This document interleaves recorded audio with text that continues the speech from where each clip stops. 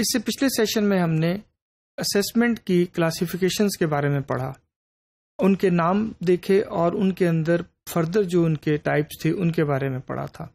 इस सेशन में हम ये देखना चाहेंगे कि उन क्लासिफिकेशंस के अंदर जिन टाइप्स का हमने ज़िक्र किया था, उनकी थोड़ी थोड़ी तफसील हमें समझ आ जाए। और सिर्फ़ उनमें से दो को इस सेशन में हम देखेंगे, यानी classification of assessment by nature और classification of assessment by format ये वो चार टाइप्स हैं आपके सामने स्लाइड्स पे जिनका ज़िक्र हमने इससे पहले किया। इनमें से जो पहली दो हैं, उसका ज़िक्र हम इस सेशन में करेंगे। जो आखिरी दो हैं, जिनमें यूज़ इन क्लासरूम इंस्ट्रक्शन है और मेथड ऑफ़ इंटरप्रेटिंग रिजल्ट्स है, ये हम इससे अगले वाले सेशन में इसके बारे में बात करेंगे। सो ये दो हैं जिनकी हम ज़िक्र करने जा रहे हैं। अगर हम by nature classification of assessment की बात करें तो इसमें दो तरह की क्लासिफिकेशन हमने पढ़ी थी। एक मैक्सिमम परफॉर्मेंस असेसमेंट और दूसरी का नाम था typical performance assessment maximum performance assessment जैसा कि आप स्लाइड पे देख रहे हैं, इससे मुराद ये है कि किसी स्टूडेंट की असेसमेंट करना उन कंडीशंस में जहाँ पे वो अपनी बेस्ट परफॉर्मेंस का इजहार कर सकता हो। यानी जिस चीज़ को मैं मैयर करने जा रहा हूँ, उस चीज़ के बारे में वो अपनी बेस्ट परफॉर्मेंस दे सके, इस तरह का असेसमेंट एनवायरनमेंट उसको प्रोवाइड करना। या टेस्ट प्रोवाइड करना। इसकी मिसाल अगर हम देखना चाहें तो जैसे अचीवमेंट टेस्ट हम लेते हैं। अचीवमेंट टेस्ट देखिए, हम किसी स्टूडेंट को कोई इंस्ट्रक्शन के प्रोसेस से गुजारते हैं, या कोई चीज़ वो खुद से पढ़ता है। हम उसके एंड पे ये देखना चाह रहे होते हैं कि स्टूडेंट ने इस पढ़ी हुई चीज़ को कितना सीखा। और हम चाहते हैं कि वो अपनी बेहतरीन सलाहियत के मुताबिक हमें ये हम मैयर कर सकें कि उसने कितना सीख लिया, हमारे टारगेट जो हमने रखा था उसके मुकाबले में। तो ऐसी सूरत में हम उसे जो टेस्ट बना के देंगे, उसके ज़रिए से हम ऐसी ऐसी कंडीशन में वो देंगे या उस टेस्ट में ऐसी चीज़ें शामिल करेंगे जिससे हमें उसकी बेहतरीन सलाहियत का का पता चल सके। इसी तरह से एप्टीट्यूड टेस्ट होते हैं। एप्टीट्यूड से मुराद रुझान है और एप्टीट्यूड से हम मैयर कब करते हैं? जब हमें ये फैसला करना होता है कि स्टूडेंट को लेट सपोज़ कि वो अपने लिए कोई मैदान पढ़ाई का मंतखब करना चाहता है। हम ये देखना चाहते हैं कि इसके अंदर खेलों में जाने का ज़्यादा रुझान है मेडिकल कॉलेज में पढ़ने का ज़्यादा रुझान है, या उस्ताद बनने का ज़्यादा रुझान है। तो हमें ये इल्म है कि इन प्रोफेशंस में जाने के लिए कौन सी सलाहियतें दरकार होती हैं। हम उन सलाहियतों पर मुश्तमिल एक टेस्ट बनाते हैं और ये असेस करने की कोशिश करते हैं कि ये इन सलाहियतों में से किन में बहुत अच्छा है। जिन सलाहियतों में वो ज़्यादा बेहतर परफॉर्म करेगा हम चाहेंगे कि उसको उस फ़ील्ड की तरफ़ उसको सजेस्ट करें कि वो उस, उस मैदान में अपनी तालीम को जारी रखे। अब एप्टीट्यूड टेस्ट में भी देखने के लिए ज़रूरी है कि हम ये देखें कि उसकी परफॉर्मेंस बेस्ट हालत में क्या होती है ताकि उसको हम वो फ़ील्ड उसके लिए मुंतखब कर सकें या सजेस्ट कर सकें जो उसके लिए फ्यूचर में अच्छा हो सकता है। ये दो मिसालें मैंने आपके सामने रखी।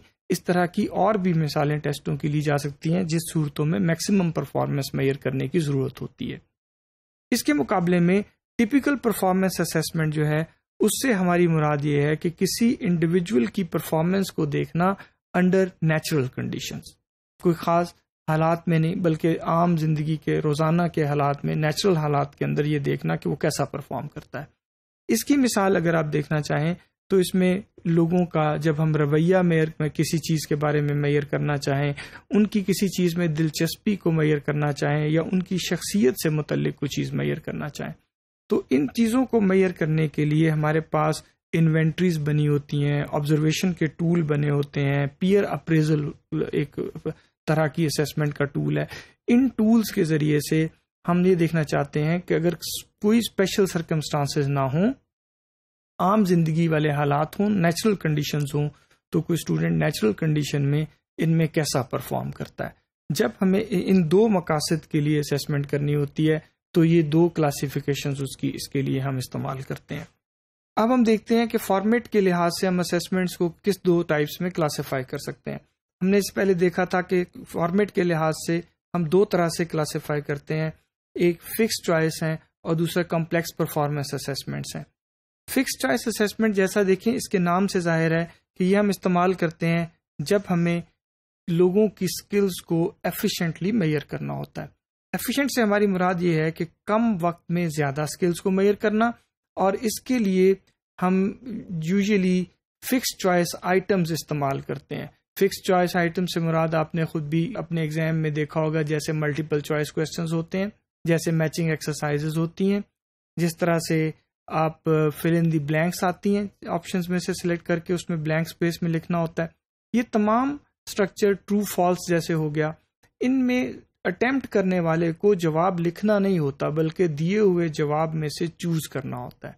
इसलिए हम कहते हैं कि ये फिक्स चॉइस असेसमेंट्स होती हैं। इनके ज़रिए से हम लोअर ऑर्डर लर्निंग यानी लोगों का नॉलेज और अंडरस्टैंडिंग जैसी चीज़ों को मैयर कर सकते हैं। इसके लिए हमें बने बनाए स्टैंडर्डाइज टेस्ट मिलते हैं।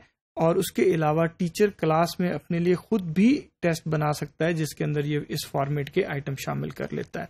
इसके मुकाबले में दूसरा जो स्ट्रक्चर है उसको हम कहते हैं कॉम्प्लेक्स परफॉर्मेंस असेसमेंट ऐसी स्किल्स का, मैयर करना ऐसी लर्निंग का मैयर करना जिसको के इन फिक्स चॉइस स्ट्रक्चर आइटम्स के साथ मैयर नहीं किया जा सकता।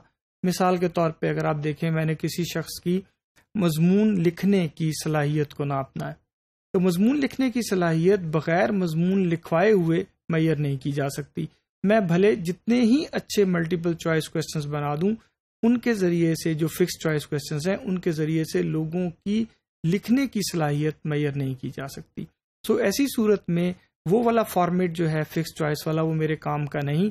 मुझे सवाल ऐसे बनाने हैं जिसमें मैं लोगों को लिखने के लिए स्पेस दे सकूँ जैसे आप ऐसे type item open open ended questions बनाते हैं। इसी तरह अगर मैंने बच्चों को लेबोरेटरी में इक्विपमेंट के इस्तेमाल करने की स्किल आती है या नहीं आती, ये देखना हो। तो मैं जब तक उनको लेबोरेटरी में ले जाके वो सामान इस्तेमाल करते हुए ऑब्ज़र्व नहीं करूँगा, उनकी ऑब्जर्वेशन नहीं लूँगा तो मुझे समझ नहीं आ सकती कि वो उनके अंदर लेबॉर्ट्री का सामान इस्तेमाल करने की सलाहियत कैसी है। इसके लिए भी फिक्स चॉइस टेस्ट जो होते हैं, वो काबिल इस्तेमाल नहीं होते। क्योंकि ये कॉम्प्लेक्स परफॉर्मेंस है और कॉम्प्लेक्स परफॉर्मेंस से मुराद ये होती है कि किसी प्रॉब्लम सिचुएशन में कोई बच्चा किस तरीके से अपने इल्म के ज़रिए से उसको हल करता है और इसमें एक से ज़्यादा स्किल्ड एक वक्त में एक से ज़्यादा स्किल्ड इन्वॉल्व होती हैं।